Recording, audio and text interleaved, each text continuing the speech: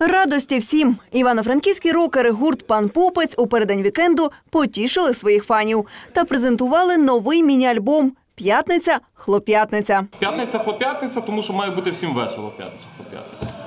До свіженької платівки увійшло лише три пісні, та й це жартують хлопці далося нелегко. Мовляв, народжувався реліз у муках, бо треки за різних обставин та причин довелося тричі переписувати. Ми ростемо, ми трошки дорослішаємо, прийшлося переробляти наші текста за, з нуля повністю. І ці пісні вже досить такі, вже мо- біля двох років цим пісням. Може навіть де, деяким одні І пісні більше. рік, деяким навіть більше. Веселий та широкоформатний дідиско, таємничо-атмосферний фрукт та власне шалена, цілком у панківському стилі гурту П'ятниця хлоп'ятниця.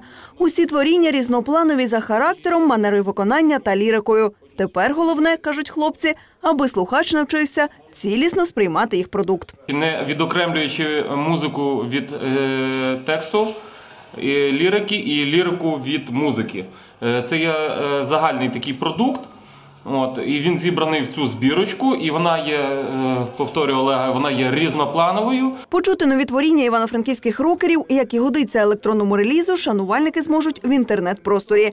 Про найбільш відданих фанів пупці теж не забули. Для них підготували сотню дисків.